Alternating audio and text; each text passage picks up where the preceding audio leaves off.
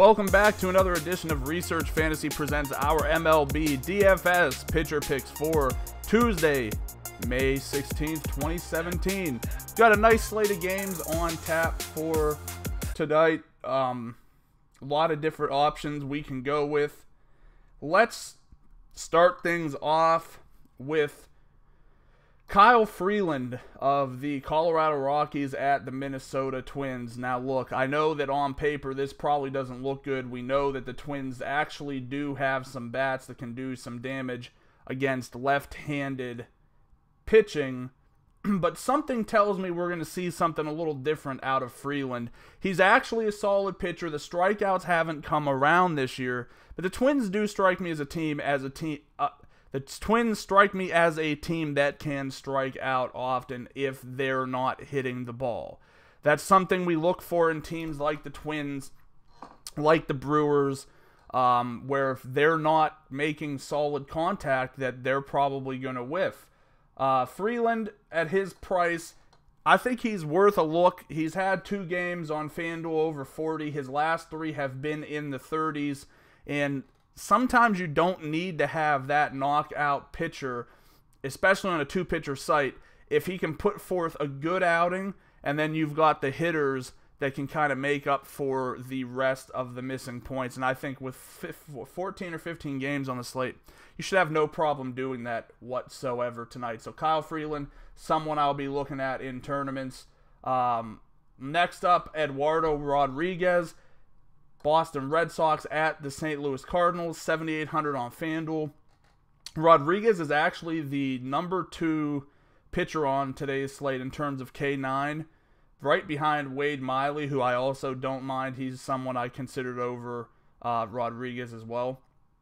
Both of these guys pretty good to start the season. The Cardinals, not the best, but not the worst offense against left handed pitching, but it's bad enough that I'm willing to take a look at Rodriguez tonight.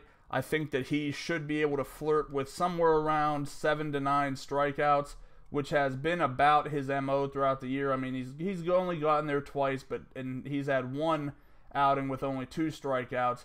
But he's really not a guy who's going to put together that many poor quality starts. Cardinals not a team we necessarily get too wild about uh, playing against, but I think the upside that Rodriguez has tonight more than makes up for uh, all of that thought process. In terms of the top pitcher, uh, I'm curious to see how many people don't play Zack Greinke today because, as we all know, he's a low strikeout pitcher. I mean, he's only hit double digit strikeouts twice already this season, so we don't want to look at a guy who's barely getting us any strikeouts. We want to look at the guys who are going to get us 15 to 18 strikeouts a game case you haven't caught on to it, there's a lot of jest there. Uh, a lot of people can't wrap their heads around in a short time frame the fact that a pitcher's set might have changed or the fact that baseball is all randomness as it is to begin with. So a guy like Greinke, even though he might have been a low strikeout pitcher last year, maybe he's never been the biggest strikeout pitcher, could certainly be doing enough to uh, help himself along. He's not our main pick, but you know the Mets are not the best offense either. When they go cold, they go cold. I understand this is a game in Arizona, so it will be pretty highly owned. But um, I just figured I'd put that out there anyway. Uh, I think I'd probably go to Yu Darvish tonight at home against the Phillies. Darvish has been somewhat frustrating through this start of the year. Uh, he just actually had this Padre. Uh, I'm sorry, yeah, he just had a great matchup against the Padres that he could not work out.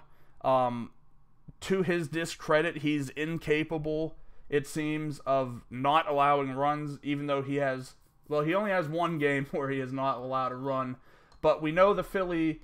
Uh, we know that they can strike out a lot. We know that they are probably getting towards better than they have been, but they're not there yet. I think this is a situation where even though it's in a favorable park, I think Darvish should be able to get the job done. I'm looking for him to have one of his double digit strikeouts um, efforts tonight. And uh, quite frankly, I think that's the last time I'll ever say that if he doesn't come through uh, because I feel like I've said that the last three times he's gone out there and he's been really disappointing. But the matchups there, everything makes sense, everything lines up. I'd take him over Keuchel against Miami, Strasburg against Pittsburgh. I think uh, I would leave him alone, and I would consider Greinke against the Mets. But other than that, our top three pitching options today: Kyle Freeland, Eduardo Rodriguez, Yu Darvish. Thanks for watching. If you liked the video, make sure to give us a thumbs up. Subscribe to our YouTube channel. Like us on Facebook, follow us on Twitter at Research and Win, and join us again tomorrow.